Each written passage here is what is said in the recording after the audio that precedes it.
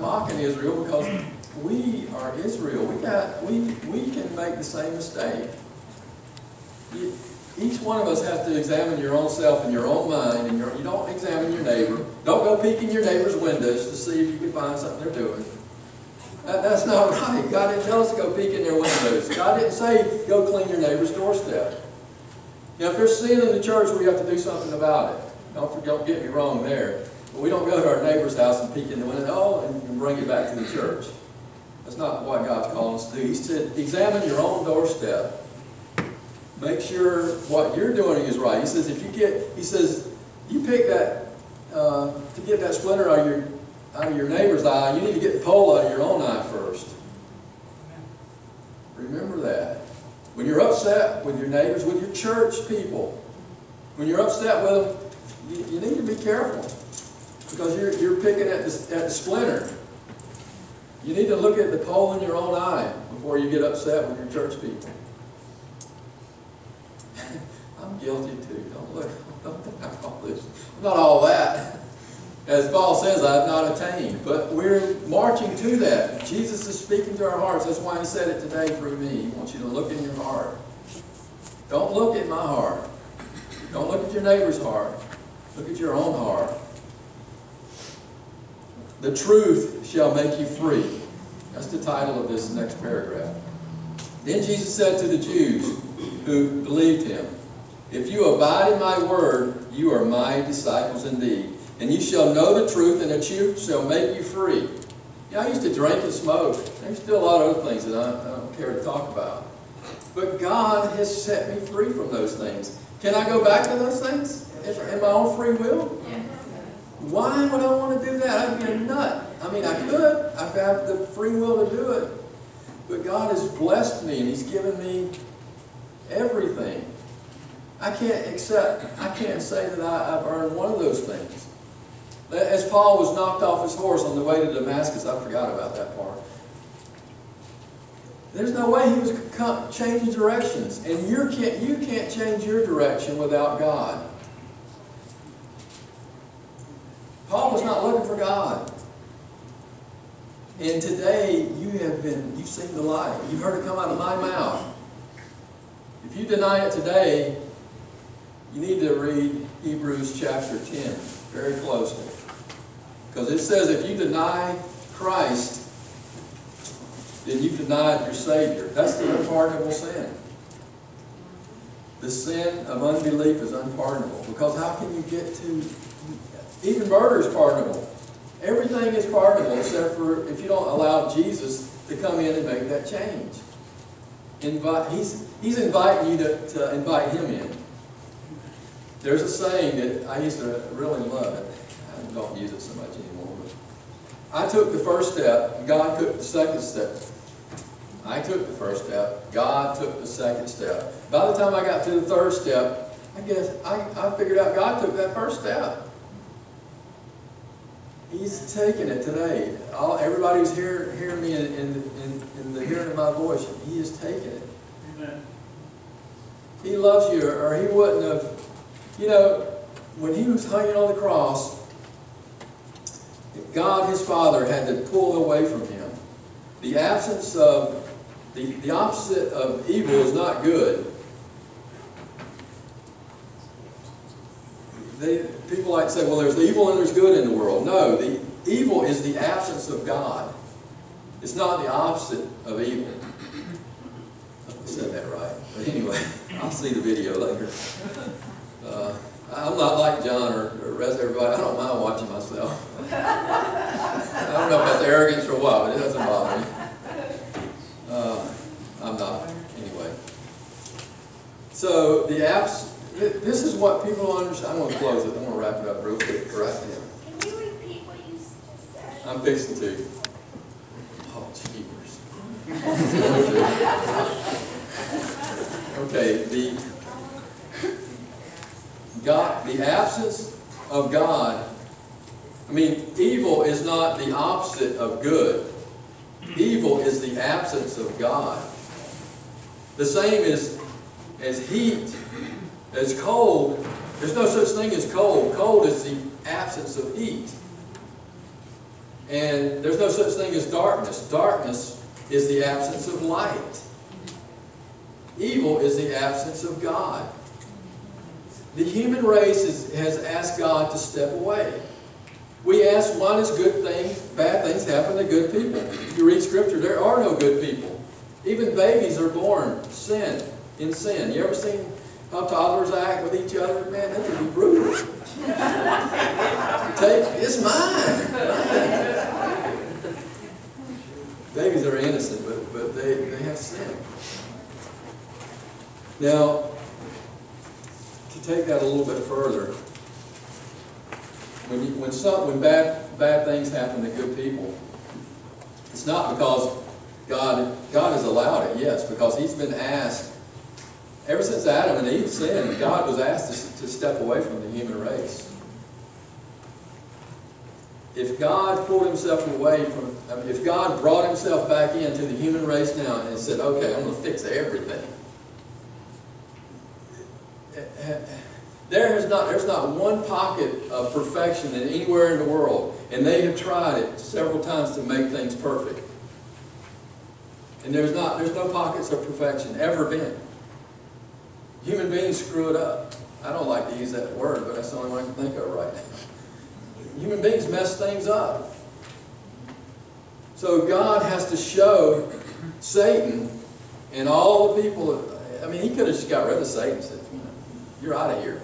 He could have just destroyed him. But that's not the way God, God is, is love. That's not one of his attributes. That's what he is. He's love. So, in order to show that God's plan is perfect, God has to let the experiment play out. And look at our world today. We're at the end of time. We have 6,000 years of sin. And this, I don't, I don't like what I see. Y'all like what you see when you look at the news? When you, you, you can't walk down the street in some places. You, you put your life in your hands. God did not intend the human race to be like this. He created, created us in His image. And ever since Adam decided that he was going to go his own way, from God dependence to self dependence, we have uh, we've gone downhill. So we got 6,000 years of sin. We are the, the lowliest of the low today. That's, that's hard. What does it say in Jeremiah 17, 9? That we, that's worth reading. And then I'm going to close. This is, this is bad news, but it's really good news because God is, it says, the heart is deceitful. And, and see, if you learn this about yourself, this is, this is good therapy.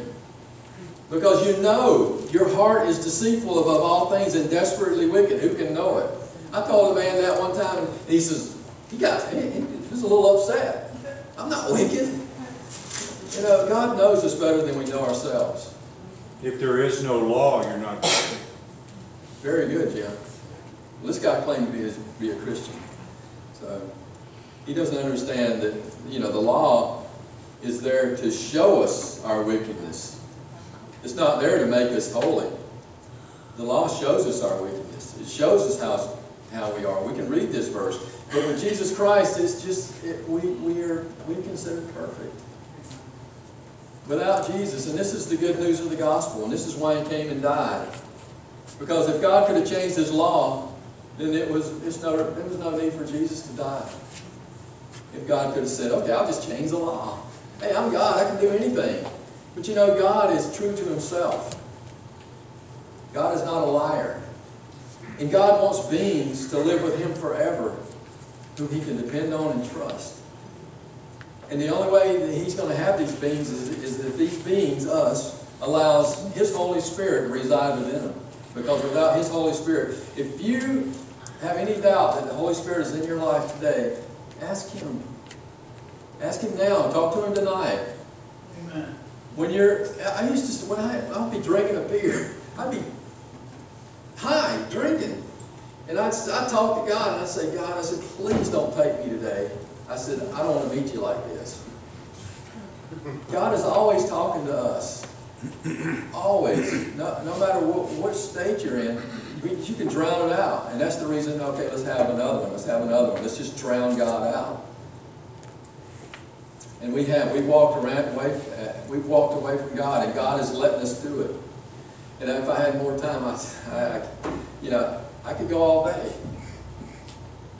I want to, uh, anyway, I'm going to stop right here. But it's good, this is the good news of the gospel is that Jesus has made a way for the human race to do what they cannot do for themselves.